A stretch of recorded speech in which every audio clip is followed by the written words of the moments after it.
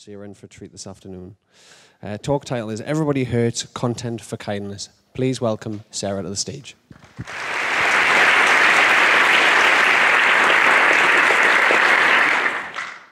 Hello. Thank you all for being here this afternoon. I'm going to start today with a story. And it's a story about um, last summer. I was about to go to a new doctor for the first time. They sent me a link to a new patient form that they wanted me to fill out before coming in. And so I click the link and I start going through all of those typical fields. I'm answering questions like Do you smoke? Has anybody in your family ever had a stroke? And then suddenly, sandwiched between all of that normal stuff, I got the question Have you ever been sexually abused or assaulted? There was no context. There was no indication for why they were asking me this question, who was going to have access to this information, what they wanted to do with it. There was no box to tick for, well, yeah, actually, but you know, that's not really why I'm coming to your office today. And I'm not ashamed to talk about it, but I don't know you and I don't want to talk about it with you. And I'd kind of rather just get on with it. There was no space to breathe. There was just this tiny little binary for a story that didn't feel binary to me at all. I thought about what I should do next. I thought, what happens if I say yes? Who am I going to have to talk to about this? What are they going to say to me? And I thought about what happens if I say no, if I lie. And I thought, you know, I lied about this for a really long time. This isn't a story I'm willing to lie about anymore. And so finally, I check yes. I go in for my appointment. I'm in the doctor's office, and she says to me, So, you were sexually assaulted. It's not a question, but she pauses expectantly. I wait. I'm silent. I say yes. I wait some more. I wait long enough for it to get awkward. I think about explaining, but then I realize that story is mine to share or not share. Eventually, she says, I'm sorry that happened to you. And she moves on with her checkup. I don't. I sit there thinking about it. It's rolling itself over in my head. It's rolling itself over in my head the next day and the next week. And what I realized coming out of this is that I don't know what your personal history is. I don't know what any of you have been through. But what I do know is that all of you have one. All of you have gone through something. Because every single person has a life that's complicated, and we don't know who's carrying what around with them. We're all carrying some kind of burden, some kind of loss, some kind of pain. We're all carrying something that might just be difficult to explain. And because we don't know what people are going through, we don't necessarily know how they're going to react. We don't know what's going to trigger a memory. We can't know what's hard for them. There are days when I can stand on a stage and tell a large room of people that yes, I was sexually assaulted, and that yeah, it filled me with shame for a long time. And I can tell you that I'm not ashamed anymore. And then there are days when saying those words makes me want to cry. And sometimes I don't know what reaction I'm going to have. I don't know which of the many feelings things are going to stir up. But that's life, right? Life is messy. Life is a lot of things all at once. There's such a range of emotions that people are feeling, oftentimes more than one emotion at the same time. And so I started thinking a lot about what we mean when we say that we're making things for humans. Oftentimes, I think what we really mean is that we're making interfaces for people to have moments of joy, to have the new relationships, the new babies, the new jobs, the things that we congratulate and celebrate. We make shiny, happy people to go in shiny, happy wireframes to result in these shiny, happy interfaces. And so, what I started thinking a lot more about is how do we make things for whole humans? How do we write and design for people who are difficult to categorize? For people who are going through any number of internal problems? For people who have conflicted and complicated reactions to the products that we make for them? For the people that we ask to fill out a form field without thinking about how it's going to make them feel? Whenever I start thinking about the people that I'm making things for, the people that my clients are making things for, they're using the products and services I touch. I think about this talk that Paul Ford gave at the School of Visual Arts a couple years ago as a commencement address. In that talk, he said, When I look out at this room, I see a comparatively small number of faces. But I also see a trillion heartbeats. Not your own heartbeats, but those of your users. And he says, if we're going to ask them to spend their heartbeats on us, on our ideas, how can we be sure, far more sure than we are right now, that they spend those heartbeats wisely? I think about this question every day. What would it mean for me to spend my users' heartbeats wisely?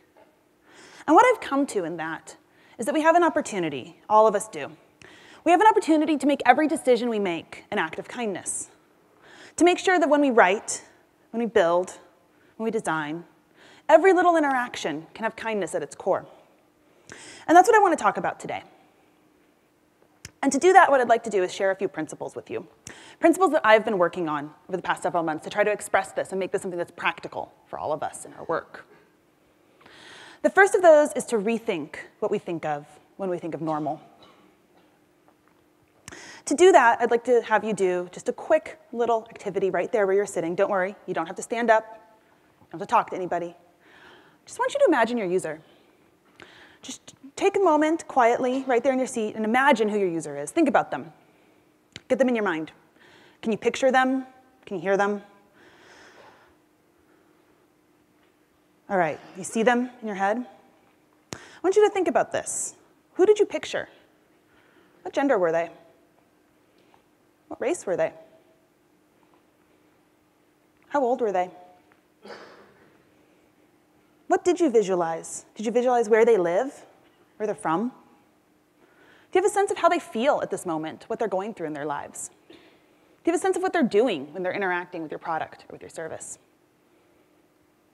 If we're being honest with ourselves, I think a great many of the products made from our industry are made for some very narrow people. We end up with a lot of products that are designed and that work for people who are all straight, white men who live in a city, have disposable income. I've talked to a bunch of you here today. You seem kind and smart and lovely, and you don't seem like you're walking around with Silicon Valley blinders on. So I'm sure that for most of you, you're not only thinking about that narrow of a dynamic, but you are probably thinking about specific audiences in your work. Because it makes sense, right? We're all trying to target some kind of user. You can't go out and try to target everybody. So maybe you're saying like, oh yes, this product is really targeted at um, families who make more than 100,000 a year, or maybe this is particularly targeted at college students, or this or that, right? There's nothing specifically wrong with having a target audience. There's lots of things right with it. But oftentimes when we have target audiences, I think we're not answering, answering one very important question in our work. What if we're wrong? What if the way that we've envisioned our audience is too narrow for the people who are actually trying to use our product? What happens? Do things still work? Or are we positioning our copy and our design in a way that leaves people out and that alienates them and that causes harm? I'm going to talk about an example of this that I heard about from a woman named Maggie Delano. Maggie Delano um, is a researcher, and um, she's really interested in quantified self. And she wrote a Medium article a few months ago. Um, the article title, I think, is pretty good at explaining what the article is going to be about. I tried tracking my period, and it was even worse than I could have imagined. So, what she did is she went out looking for period tracking apps. And a period tracking app, if you're not in the know, is basically a way that you can keep track of when your period is going to come. And so she tried out a whole series of products, and she found it really frustrating. And one of the products that she tried was called Glow. So I started reading this article, and I was really fascinated with what she was talking about. So I, of course, had to download Glow myself and see what this was all about. So I download Glow. And I will say, just first off, that everything you're going to see in this example, um, it's just me messing around with data. I don't have any personal data in this app, so there's nothing that's actually personal to me here. But I get this app, and I start onboarding. And the first thing you see when you get there is that you're supposed to choose your journey. See that up there? Y'all, it's a period. It is not a journey. I can't speak for all women, but I don't know anybody who would tell me that their period is a journey. And I think, is this just trying to be cute and warm? Is this just trying to make things like pleasant and nice for people? But okay, you move on from your journey. Take a look at what your options are. You could be on three journeys and use Glow, only three. You are either avoiding pregnancy, you are trying to conceive, or you are having fertility treatments. That's it. There's nothing else to do in this screen except for select one. What if none of those apply to you? That's the experience that Maggie Delano had. Her partner is a woman. She figured she was doing pretty well at avoiding pregnancy. and trying to conceive and fertility treatments didn't apply. So, right there, right from onboarding, she's completely alienated and excluded from this app, this app that she wants to use to track her period. So, what this does from step one is it creates a system of false categorization. It tells the user that they have to fit into one of these predefined categories. And because it starts with false categories, what it does is it carries that through throughout the entire experience. Even if you go ahead and click a screen, which I go ahead and do, I still end up with an experience that doesn't fit my needs at every single moment because I'm reminded that it's designed for somebody who isn't me. So, everything that we do when we start selecting categories for people, when we start trying to put people into boxes that they're not defining for themselves, everything that comes after that starts to be a problem. The things that we might think are going to make it fun and friendly and simple and human at the very beginning, at that onboarding stage, might be just the very things that make it not work down the line. So I went ahead and continued, of course, because science, I needed to see what was next. So I continued on into the app, and I wanted to see what else Glow had in store for me. So I selected that I was avoiding pregnancy. And so I go in and I start playing around with all the little things in the app. And one of the things you can do as you're playing around in there is you can um, enter information about a given day. And so some of the data that they want to have about a given day is they want to know, you know, like, were you on your period? How did you feel? All of these different questions. And one of the questions they ask is if you had intercourse. And so, you know, okay, fine, that's probably relevant to whether or not, you know, your, how your period is working, sure. So I went ahead and said, okay, let's see what happens if I enter this. So I entered that I had intercourse, and then I entered, um, they wanted a birth control method. I said, okay. So I selected the morning after pill. Let's see what this does. So I did that, and then all of a sudden it was like, okay, great. And it gave me this screen. I had intercourse. Do you see the heart there? I want to call something out to you. I did not select that icon. Glow did. And that might be cute, and sweet and fine for many users in many circumstances. But the question is what if it's not? What if the sex you had wasn't a good thing? What if it was bad? What if you regret it? What if your condom failed and that's why you selected morning after pill? What if you were assaulted? There's many reasons, large to tiny, that you might not be feeling a heart icon just because you marked in this app that you had sex. But Glow decided for me how I felt about it, right? Glow decided. It made an assumption about what my feelings were. In Glow's mind, everybody using this app is in a loving, committed relationship, having great sex every time they use the app. Those are the only people who can use this app and have it feel right. Now, I hope everybody who wants to be in a loving and healthy relationship is in a loving and healthy relationship. But the reality of life is just so much weirder than that. And to only design for that one case, to only make that one experience good and every other experience broken, to me feels woefully narrow. It doesn't take into account what people are actually like. But Glow wasn't done. Glow really loves to be in charge of me. So, for example, here's a screen that says you're having a period, okay? Okay, this is a period day. The copy says, snuggle away. And I guess it's trying to be cute, right? Like, I guess it's trying to make it, like, fun somehow. But what I don't understand is this. Why is this app giving me permission about whether or not I should be snuggling? If I'm using an app that's theoretically designed to give me more information and empower me about my own body, why is it making the decisions for me? Why is it giving me permission to do anything? I think it's important to remember when we're talking about the things we design, we have to never forget who's in charge. To never forget who should be making the choices and the things we create. I want to use an app to help me feel more comfortable in my choices and not less. Interestingly, Glow is not just interested in your sex life. It also wants to know about all of these other things, like whether you got any exercise during a given day and your emotions. And some of that might make sense, you know, perhaps if you were doing fertility treatments or something, like where you'd want to gather more information. One of the things it wants to ask you about, though, is whether or not you've had any alcohol. And so I was filling that out, and I was like, okay, well, let's see what happens if I say, yes, sure, I had alcohol, and ask you how many drinks. And so I said, oh, I had, let's say I had four drinks. I'm to throw myself a very small little party here in this app. So I put down that I had four drinks, right? And here's what I get I get, you had many drinks. Thanks, Glow. And I'm not sure how well you can read all of that, but it says there's nothing wrong with having a drink now and then, but frequent heavy drinking can lead to blah, blah, blah, blah, blah, blah, blah. And I think, wait a second. One time, I put down that I had four drinks in an app that's about tracking my period. And they've decided that what I actually need from them is all of this other stuff. It's trying to be all of these things for me that I never asked it to be. I said I was interested in tracking my period, and Glow told me that I needed to be on a journey that they were defining. Told me what to care about. It told me how I feel. It told me about me.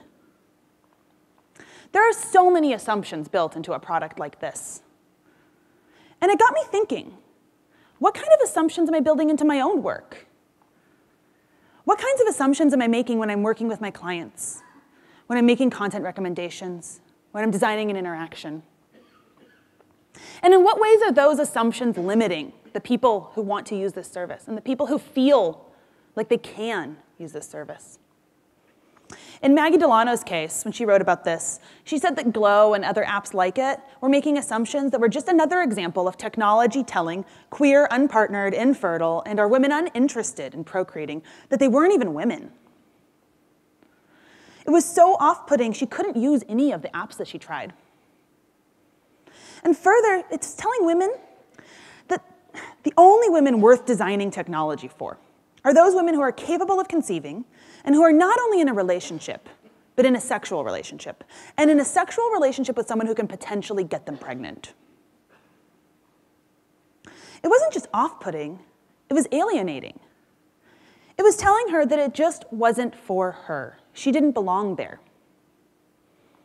So when I look at all the decisions that an app like Glow made, they seem to have made a lot of decisions to make things smooth and seamless and fun. They wanted to make it friendly and human, all of the joy of tracking your period. But I look at that and I think, for whom? For whom? Who gets to have that experience? And who gets left behind? I think we do a lot better in our work when we start asking users what they want. When we start being a lot more careful about making assumptions about the categories that they fall into and we give people the power to make their own choices about what they need. Maybe even more important than that, maybe even more valuable than that, is we need to be able to accept nuance in people's replies. It's not just about giving people three options to choose from, it's about allowing people to define themselves. The more that we make products and services that really get into people's lives in intimate and personal ways, the more that we sort of bump up against this problem. This problem of having our services try to define us in ways that don't feel right. I mean, if you were Glow, you could easily, easily modularize the different pieces of this app and make it so that you could allow people to select what they actually wanted to track, right? It'd be pretty easy to allow people to pick the things that they were interested in tracking. There are lots of women who just want to track their cycle length and when it's going to happen. Like they just want to know, like, when do I need to buy tampons? And some people want to track maybe their mood and their feelings too. They want to see sort of how things shift along the way. And maybe there's other people who are definitely most interested in figuring out, you know, pregnancy risk, right? And they're looking at a, at a birth control scenario. And maybe then there's other people who want to track things like their fertility windows, or they want to keep track of, you know, when they are having intercourse because they're trying to get pregnant. And that might make them more interested in tracking some of that general health information, more than somebody who's just using it as a period tracker. But ultimately, all of this is, is about saying we need to come from a place of kindness where we let people define themselves rather than saying that their identities aren't okay. Which brings me to my next principle, which is about making space for people, making space for real people to exist in the things we design. To talk about that, I want to talk a little bit about names, because names are such a core part of identity. I know my name is pretty important to me, and I'm frustrated every time I see a field like this, which cuts off the last two letters, which is very typical. My name breaks things on the internet constantly, right? It just does not fit into the form fields.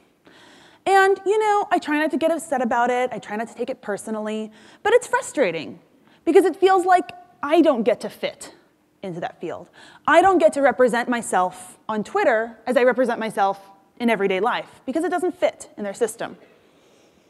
But that's a small thing in comparison to what Shane Creeping Bear felt. Shane Creeping Bear is a Native American, and he had his name rejected by Facebook last year. And when they rejected his name, what they told him was that his name wasn't approved, that it didn't meet Facebook standards. And it wasn't just Shane Creeping Bear. It was also Lance Brown Eyes. It was Robin Kills the Enemy. It was Dana Lonehill. It was a number of people with native last names who were told that their na names did not meet the standard and could not be used. Now, Facebook has a real name policy. You're supposed to use the authentic name that you use in real life. And we could talk about whether or not they should have that policy, but they do. And Facebook wasn't just saying, though, that they think their names might be fake. What they were saying was, your name wasn't approved. Your name wasn't approved. It looks like that name violates our name standards. You can enter an updated name again in one minute. To make sure the updated name complies with our policies, please read more about what names are allowed on Facebook. They weren't just questioning the authenticity of the name, what they were saying is that your name is wrong. That's how I read that. Your name is wrong. And when I see your name is wrong, I also see, you know, you don't belong here because your name violates our standards. If that's your actual name that you've entered and you're told it violates things, that it doesn't fit Facebook, it feels like you don't fit and you're not wanted. It also says that you need to change. You need to change your name to fix the problem. You have to be different to be here. Now, I used to have a slide that talked about an alternative example, something that Facebook could do instead. But just a couple weeks ago, I got word that they changed this. So I'll show you what they actually have now. Now, it says something I think fits a lot better. It says, help us confirm your name. So the headline starts. And then it talks about why they, they have people use their authentic names on Facebook so people know who they're connecting with. But it's not just the copy, it's also the interaction itself. It's not just try again, which sounds pretty judgmental, but it's two choices. Go through the process of confirming your name or update it to something else if you're not using your real name. What this does is a couple of things.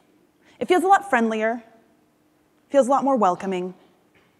But it's also more honest about the fact that the system is imperfect, rather than assuming that your identity is the problem here.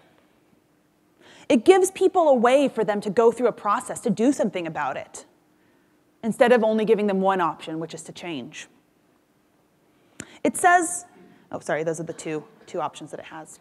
And what it says is, you know, we could be wrong. It says maybe we're wrong here. It also says we want to fix this. We want to fix this with you. We're not just trying to reject you, we're not telling you you violate things, we're trying to make this better. And it also says here's what you can do about it. Now, if you got that message, you might still not like having to send in copies of your driver's license and sending in extra documentation to prove your name. You might not like having to go through extra steps to get your name approved on Facebook.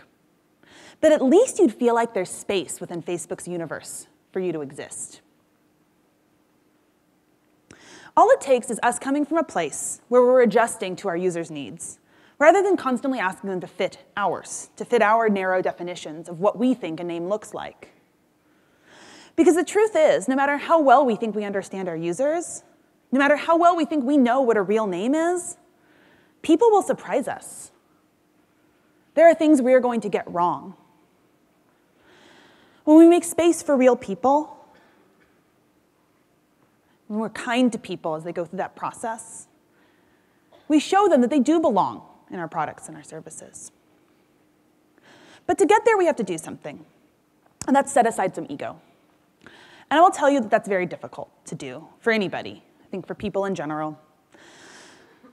And I want to tell you an example that we had at A List Apart.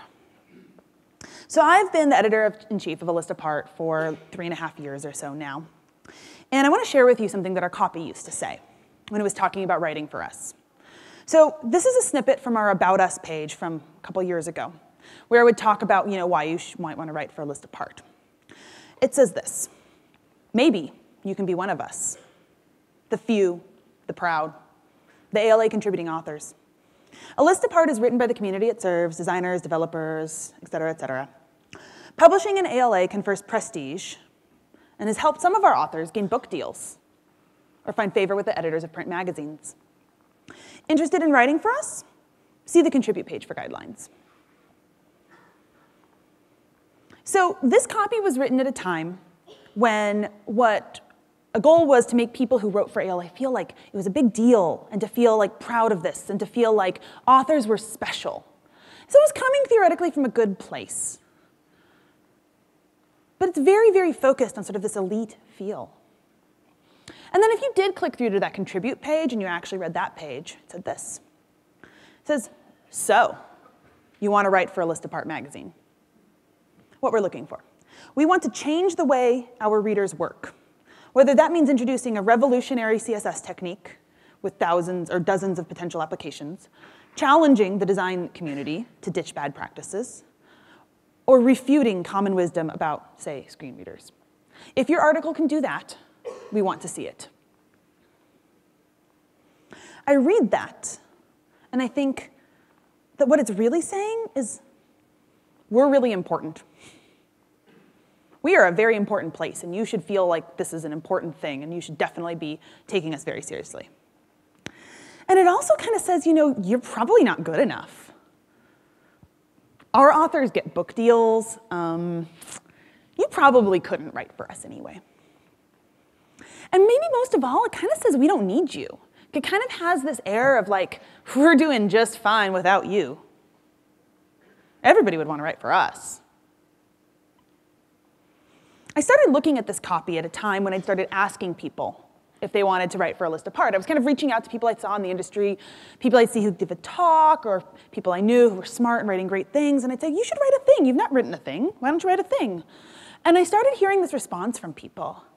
I started hearing people say things like,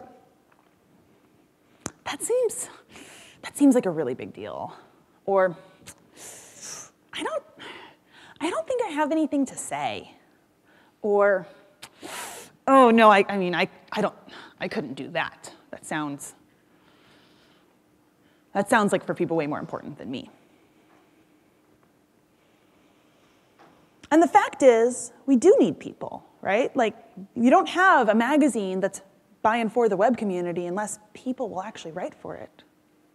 So I started looking at what we should be doing differently. I'm going to share with you the way the copy reads now. I wouldn't say this is necessarily the perfect final draft, but I would say it's the most recent copy that we've come up with. So what it says is write for us. Yes, you. We're always looking for new authors. It says if you've got an idea that will challenge our readers and move our industry forward, we want to hear about it. You don't need to wait for an idea that will redefine web design, though. Just aim to bring readers a fresh perspective on a topic that's keeping you up at night. Now, I don't think this is perfect. As I started looking at this carefully, I was like, you know, I'd probably get rid of that challenge verb. It's a little bit too like aggressive. Like challenging our readers sounds kind of like a big deal, and and you know maybe we could tweak some things here. But what it does say, what it does say is that our authors matter to us. Yes, you. You could be one of them. It also says, you know, we want new authors. They're why we're here. It says that your ideas count. You don't have to redefine all the things. You don't have to have some idea that's going to blow everybody's mind ever. You just need to have something you're excited about and that's keeping you up at night, because that's probably enough. That's probably enough of an idea. And it really tells people that they're why we're here, because we're not a magazine unless we have people like you. Yes, you. But to do this, it, got, it, it made us get to a place where we had to swallow some pride. We had to swallow some pride about who ALA is and the fact that it was like this web magazine that's been around since 1998 and that lots of people who've gone on to do big, great things have written for. And we had to talk to people in a way that would actually help them and make them feel confident doing what we wanted them to do. Which brings me to the next thing, which is about intention. Being intentional in everything that we write not just letting things happen, being intentional in every element we design. I want to tell another story to talk about this. Last year, I was applying to get my German passport. Now, I'm half German, and I've always been eligible, um, but I didn't have any documentation. And so I was going to the consul in Philadelphia where I live. And I was bringing all of these things with me, right? Like so notarized birth certificates and copies of green cards and parents' marriage licenses and all of this background information. An entire story of a life, a narrative built out of documents, right? So I get all my stuff and I go into the consul. And I'm sitting at the consul's office and I'm filling out forms. Form after form, filling out to kind of prove I am who I say I am and my mother is who she says she is, et cetera. As I'm going through them, I hit upon this one form. And it says, Ich bin das blank Kind meiner Mutter. I'm the whatever child of my mother. And as I start filling this out, the first thing I start doing is I start putting this two there on the page. And I'm like halfway through filling that out in pen when it hits me. I'm not precisely the second child, I'm the third. Suddenly, I'm not filling out forms anymore. I'm thinking about our house back in California, and I'm about six years old. And I have all these photo albums spread out on the dining room table with my mom. I really loved going through photo albums as a kid. I loved seeing my parents' live before I was born. I loved asking questions about like who are those people? Why do they have such funny glasses? And why is everybody wearing ponchos? Um, and so, you know, I'd go through all these photo albums, and I would get to this one section. I can remember it so clearly, how the order of pictures go. There's these pictures of a trip to Europe when my brother is a tiny toddler. So there's my older brother running around in some, you know, pigeon covered square somewhere. There's my grandmother at her house in Munich. And then there's Jamie. Jamie never left the rural Italian hospital where he was born. He was too premature to fight off the infection that he caught there. Jamie lived for 13 days. Jamie is a brother I never had, but he's a child that my mom had. And she feels this loss deeply.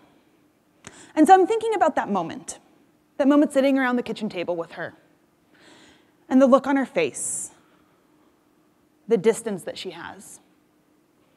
She's impenetrable. I can't get to her. I remember hugging her, kind of like trying to get in her lap.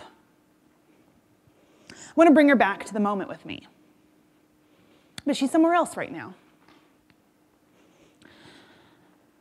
But of course, I'm not six years old in California. I'm at the consul's office. I have forms to fill out. I get it back together, bring myself back to attention, try to figure out what to say. Eventually, I try to write something in the margins. I write, gestorben 1982, dead 1982. I don't know if that's the right thing to say. Certainly don't know if it's the right thing to say in German. Move on with my form. And what I realize is that every single field we collect carries weight.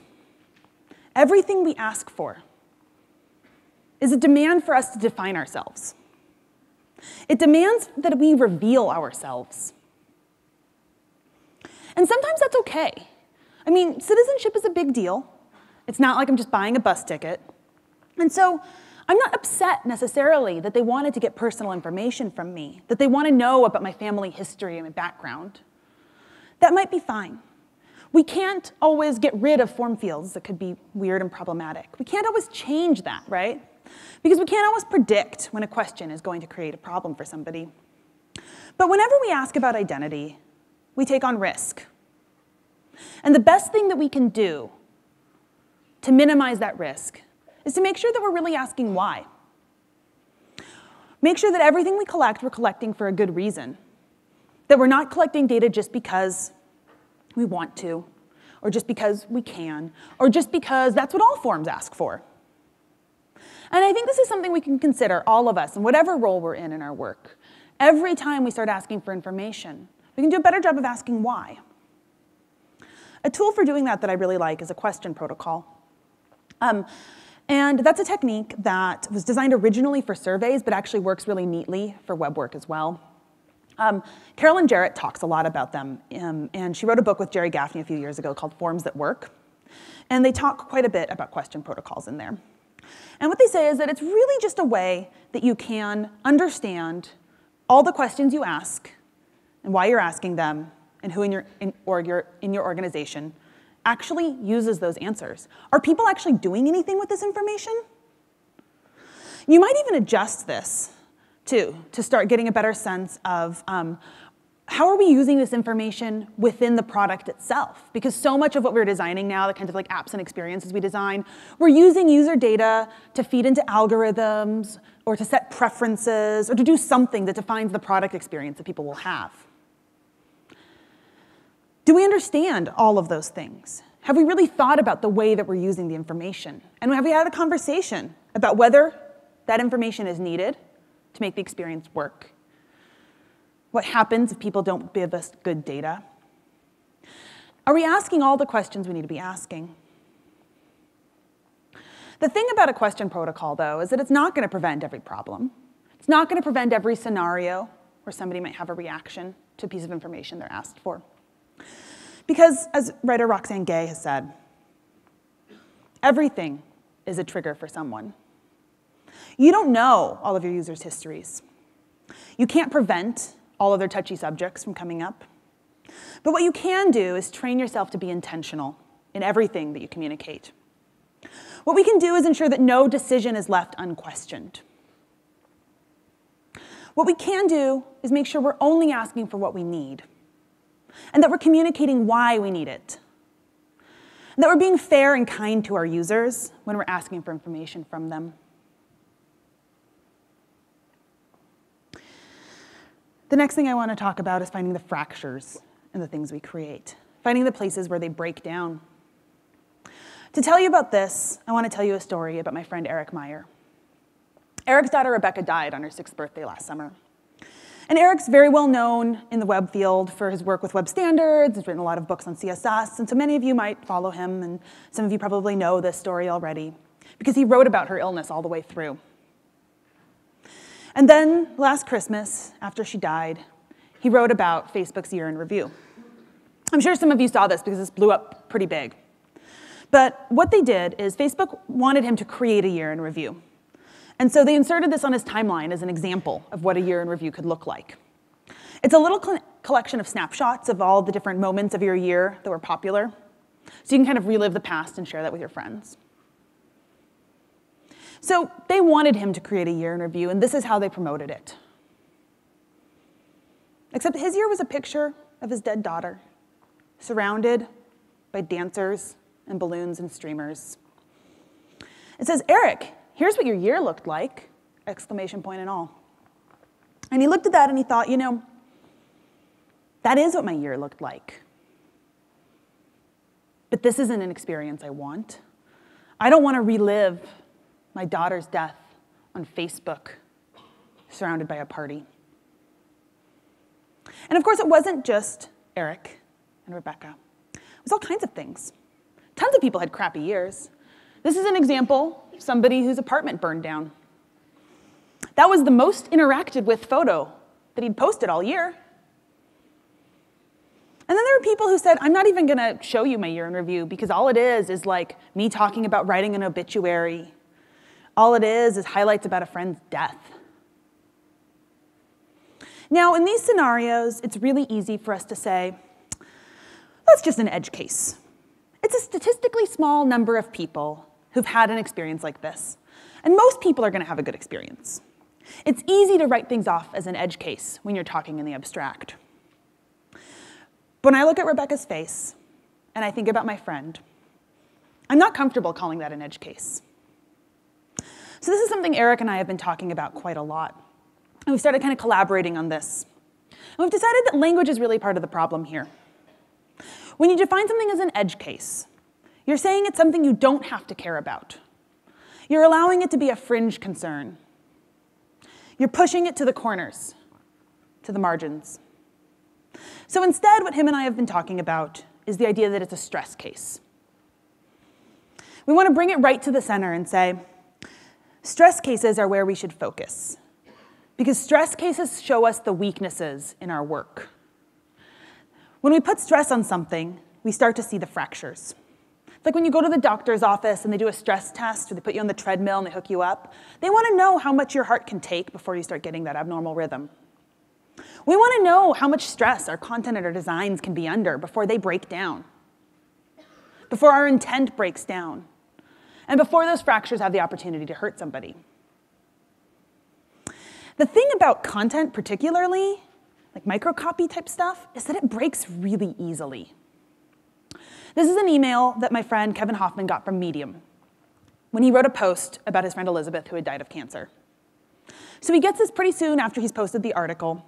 It is an email to let him know how many likes it's gotten, and it's kind of letting him know he's only had a few recommends on Medium, but wants to make sure he's feeling okay, that he's only at three right now. And it says, fun fact, Shakespeare only got two recommends on his first Medium story.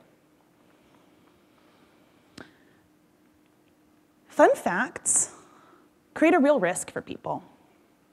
Because those fractures, those places where the content that we intended to have, the experience we were trying to create, and the realities of our users, and the realities of the content that they created, where those things have dissonance, that creates alienation.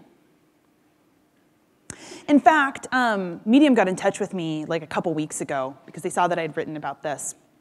And they apologized, and they've actually removed um, the offending fun facts from the set of strings that can go out in these emails. They took a bunch of them out.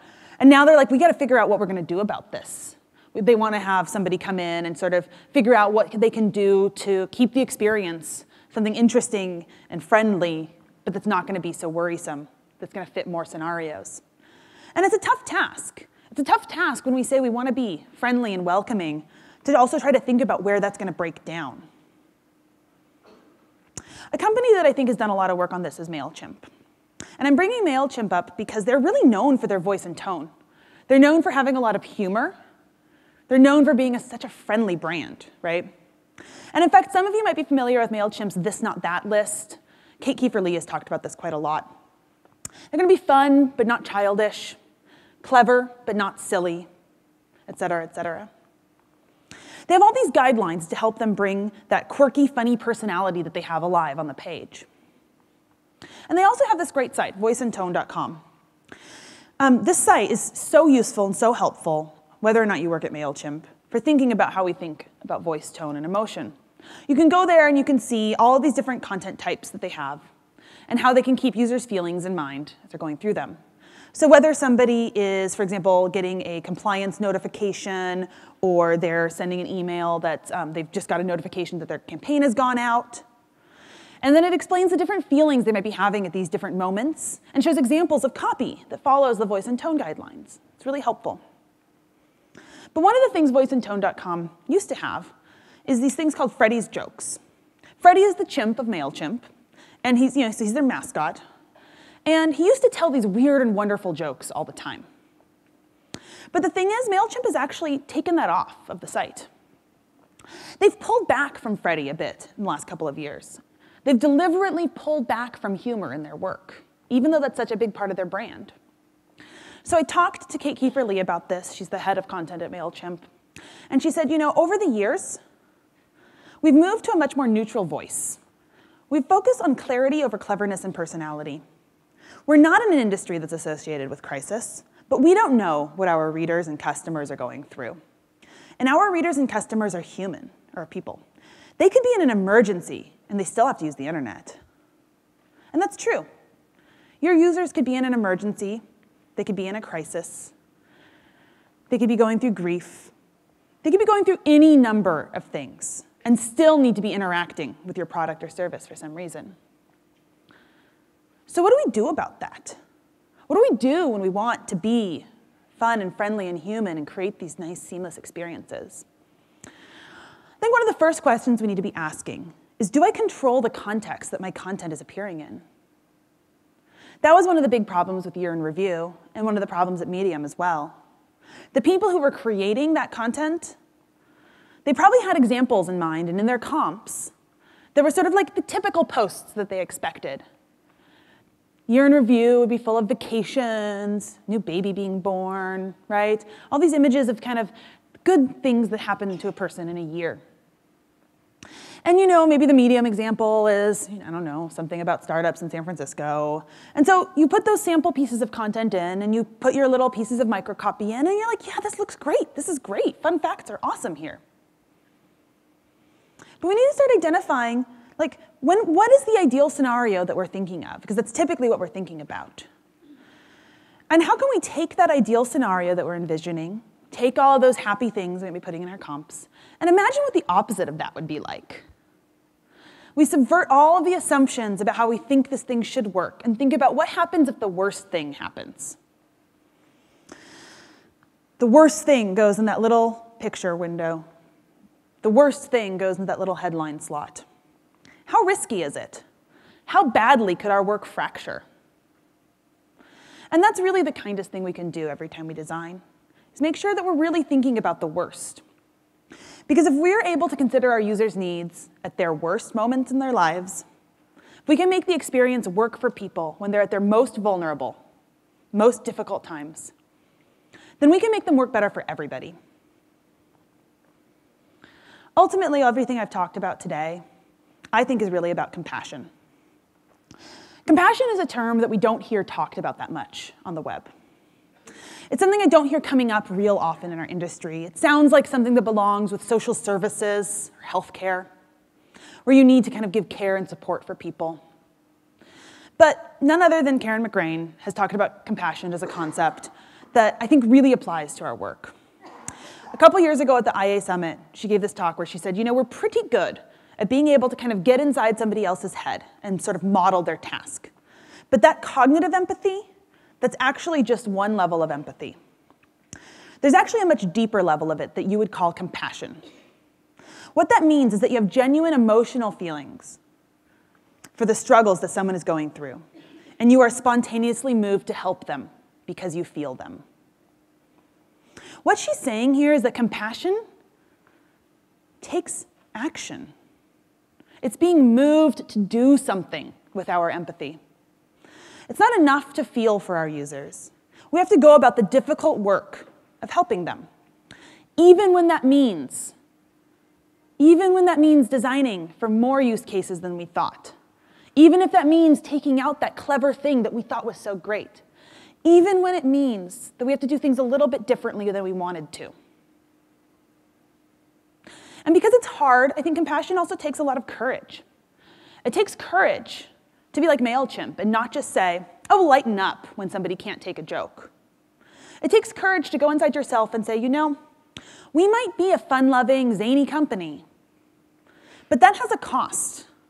It's hurting people's feelings, it's getting in their way, it's alienating some of our users. It takes courage to not have that knee jerk reaction and instead come to terms that what you're doing might be hurting people and be willing to change. Because of that, I think compassion takes practice. It's a lot easier to be kind to people when they're standing in front of you. It's especially easy when you know what they're going through. It's a lot harder to bring that kindness to people you can't see. It's harder to retrain our brains to look at every single situation and look for the opportunities where we can make space for people, whole, real people. As Paul Ford has said, the only unit of time that matters is the heartbeats of those people. The more we make space for them, the more we'll be making things worth their time.